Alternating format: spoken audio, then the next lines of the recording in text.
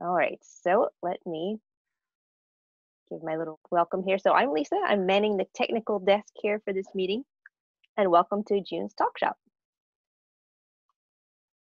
And there we are. So here's our, agenda for the day. Um, we're going to turn this over to Lynn in a moment just to formally welcome us, although I think most of us have been here long enough to, to be welcomed already. And Winifred Bird is going to be doing our interviews today. Thank you, Winnie. We're lucky to have her guiding us. Um, so we've got three people from three, mostly translator, I think. We're going to get the details on, on, on everyone today, but we have Brenda Hart and Susan all from Northern Nagano. We'll do interviews for about 20 minutes each. We'll stop for comfort break, probably 10 minutes, and then questions and answers. Hi, everybody. Thank you for coming tonight. Um, it's wonderful to see so many familiar and not familiar faces. Um, and especially thank you to our three speakers, guests tonight. So Brenda Kaneta is a translator and interpreter living in Suzaka, which I believe is just outside the city of Nagano. And as she says on her website, her first career love is the entertainment industry, but she also handles materials in marketing, law, education, and other fields. Recently, she's been working with overseas film crews when they come to interview athletes in Japan. Raised in Chicago, Brenda majored in Japanese at University of Illinois at Urbana-Champaign and moved to Osaka on the JET program in 1997. After teaching English for a number of years, she got a job as a production coordinator at Universal Studios Japan. And that is when her passion for interpreting and translating really started to bloom. In 2008, she completed a conference interpreting course and soon after moved to Nagano with her husband to start a family. She's now been translating for over 20 years and freelancing for nearly 12 years. Last year, she, her husband, and their four children, including twins, moved to a custom built home in Suzaka. Brenda, thank you for joining us today. Thank you for having me. Yes. So, since all three of our panelists tonight live in Nagano, I would like to start out by asking in a little more detail what brought you there and what you like about it. Okay. Um, well, I never ever planned on moving to Nagano. Um, in fact, that was the last place I ever wanted to live, probably. Um, I was born and raised in Chicago, and I'm a city girl through and through. Um, I studied, well, I, in high school, I had the chance to uh, do a homestay in Osaka, and I loved it. And I then went back to study uh, at Kansai Gaidai University and made lots of friends and went on drinking and had a great time. Um, and I was lucky enough on the JET program to get placed in Osaka. So there was, all my friends were already there, lots more drinking, lots more fun. Um, and then I got a job at Universal Studios, which was also uh, wonderful and fun and rewarding. Um, and then I met my husband, and uh, he lived in Nagano, and he's the chonan of a family. He does he works for his father's business, so he's next in line to take over the business. And it's not just any business; it's a traditional. They're traditional craftsmen, so um, it wasn't like he could just find someone else to take over the business or they could sell it. Um, he has been groomed basically to take over the business from the time he was born. Um, and at first he, you know, he was, he's very, uh, I guess, modern thinking and said, you know, you don't have to move to Nagano. You can stay in Osaka and I'll continue visiting you on weekends and stuff. Um, and so that's how we, our married life began. Uh, we got married. I was still living in Osaka and working, and he was living in Nagano.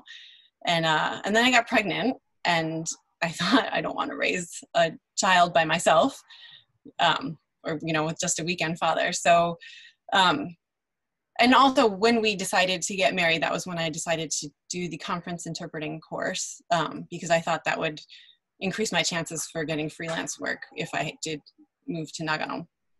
Um, so i felt like i was more prepared to live uh, in the inaka um, with that under my belt. Um, and uh, suzaka is is a more rural town, I guess, than Nagano-shi is, although Nagano-shi is quite rural, but it is connected to Tokyo by the Shinkansen. So, um, yeah, we lived near Nagano Station, which also also made it easier to get work in Tokyo.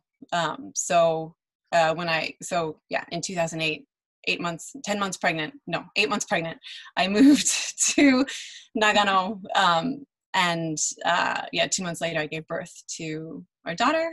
Um, and it was the first year was very, very lonely and very hard. I'd always been very career oriented and work driven and raising a child in a place that I didn't know um, was very hard. But now I love it. That's what I was going to ask you. Has it grown on you? Do you feel like it's your place now? Um, feel comfortable and settled there?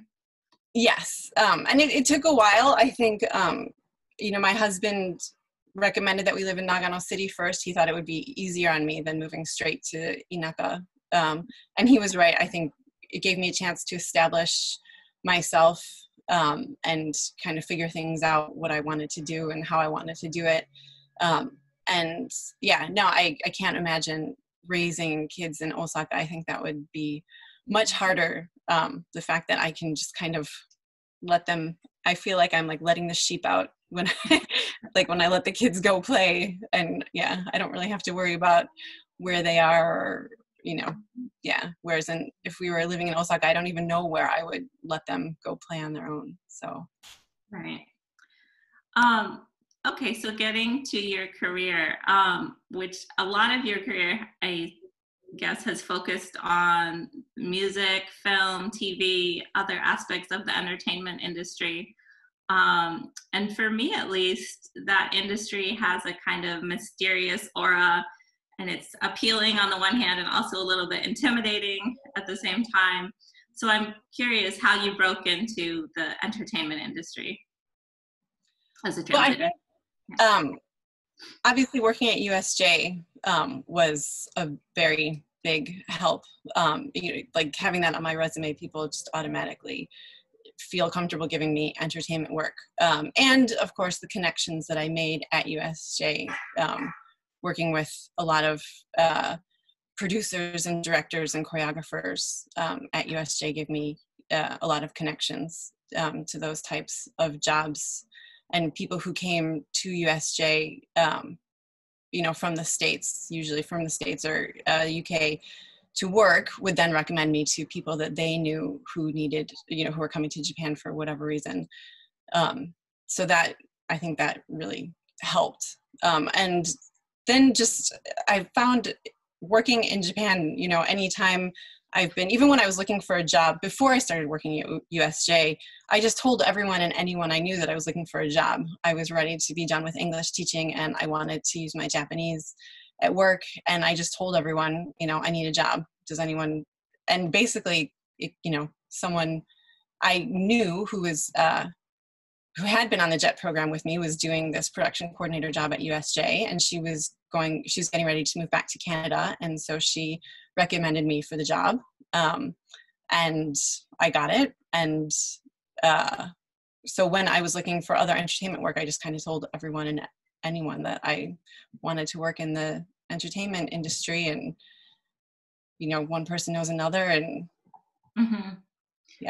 So a lot of word of mouth it sounds like and, and yeah. personal connections. Mm-hmm. yeah yeah. Um, can you maybe tell us about a couple of the more exciting or interesting projects you've been able to work on in in that entertainment field? Um so there is uh, this is also just completely by chance. Um, i know a woman who was the marketing director marketing she was in marketing at uh, asics the sneaker company in kobe. And uh, they were creating uh, a documentary um, called beyond champions i think that's what it's called.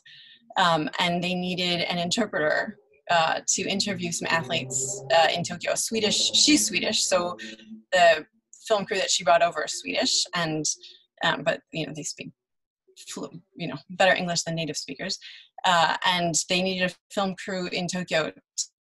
Or they needed an interpreter for their film crew in Tokyo, and so um, I helped them interview. First, I helped them interview Ramu Tokashiki, Tokashiki Dama. She is a she plays for the WNBA in the U.S. and she also plays professional basketball in Japan. And she's also well, this would have been her second time in the Olympics, I think. Um, and so I got to uh, be with her, you know, for for two whole days, and the entire team that she she plays on, um, as well as the the Swedish be with the Swedish crew as well, which was lots of fun. Um, and then when they came back again to do another episode, um, they uh, interviewed uh, Kiryu Senshu, who is one of the relay runners for the the hundred. Or he uh, the he's also a hundred meter uh, sprinter uh, in the Olympics, and he was the first Japanese athlete to break the 10 second barrier uh, for 100 meters.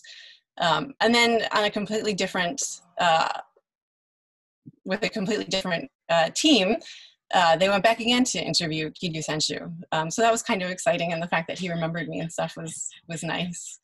Um, and then uh, I've also done a lot of interpreting for um, Summer Sonic, the music festival uh, that's held in Osaka and Tokyo. And so I've worked with a lot of big name bands. Um, and yeah, they're it's it's fun, but it's exhausting work, and they are um, usually quite a pain to take care of for two days, four days. Yes. Is it like our typical image of prima donna music stars, or does it are there problems related to you know them swearing all the time, or what what is that like? Uh, usually the band members themselves are wonderful, wonderful cooperative people. I think that they're quite aware of the fact that they wouldn't be where they are with all the people surrounding them. It's the people who surround them that are the pain to work with. Lots of times, the managers, the tour managers, they don't understand that we're on the same page. They feel like they have to fight for everything. Mm-hmm. Um, and I have to kind of, I've had to be like, you know, I want the same thing. I just want them on the bus on time. I'm not asking for, you know, so yeah. Yeah, it's usually the tour managers who are pains to deal with. well, it sounds like your work as an interpreter goes a little bit beyond interpreting, maybe. Um, and that was also the next question I wanted to ask you, which was um, what are some of the skills that have helped you succeed um, specifically as an entertainment translator? An interpreter? Um, I think being familiar with you know the Japanese culture is is really important. Obviously, I think that a lot of times um, the musicians and the artists and the the film crews, especially the film crews, when they come, they're looking for someone to be kind of a cultural coordinator for them or a cultural liaison because mm-hmm. uh, if you know when they're in the hotel and trying to get something done it's very difficult i think a lot of times for foreigners who have no knowledge of japan to just come over and get what they want done especially since um, you know as we all know people in japan are not that fluent in english or not as much as you would expect them to be uh, even in tokyo. And so um, me having the cultural knowledge to be able to guide them uh, to get the things that they need done done um, has is definitely something that they appreciate and i think what keeps them coming back to ask me to work with them or recommending me to their friends or you know other crews that they know um, is because i'm able to to guide them uh, within the japanese system how to get those questions the sticky questions answered how to get the the managers to be a little more uh, lenient with how we use their uh, their celebrities and their uh, the people in their care Huh. So a little bit of diplomacy, maybe. yes. Well. That's, yes, that's a definitely a good word for it. Yes. Yeah. Um, so we don't have too much time left, but I wanted to touch on something you mentioned in our emails um, before the before this event. You had mentioned that you were the driving financial force behind building a new house for your family.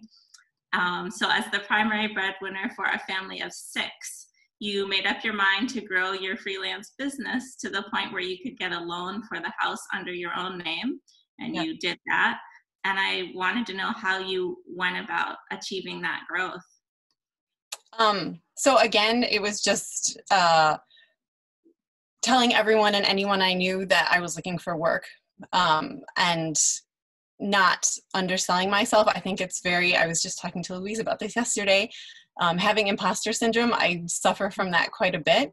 But uh, sometimes, you know, I tell myself you just got to fake it until you make it. And so, not underselling myself, but at the same time, letting myself or letting people know that I'm available and I want to work. Um, so I have basically uh, the twins were born seven years ago, and I went back. I decided I wanted to. Well, we needed a house, um, and I decided that I was ready to go back to work full time. Put the twins in daycare uh, when they were about a year old, and that was when um, I do a, an interpreting job every year at Fuji Speedway, and there are a whole bunch of other interpreters and translators there. And I told all of them that I wanted to go back full time, and if they knew anyone who was looking for translators, to please contact me.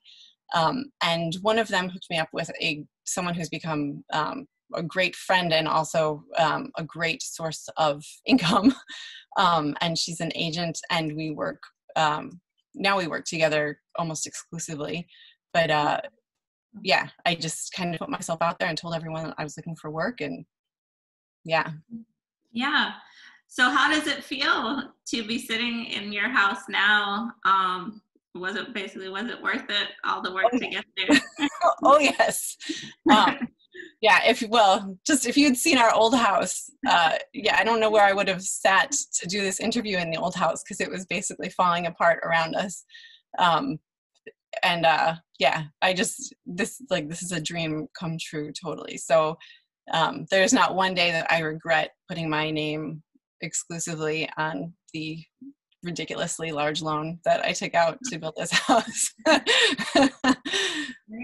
great um well i think we're just about out of time with brenda unless you wanted to add any last comments um, you will of course have more time in the q&a period. Um, but did you want to say anything before we moved on?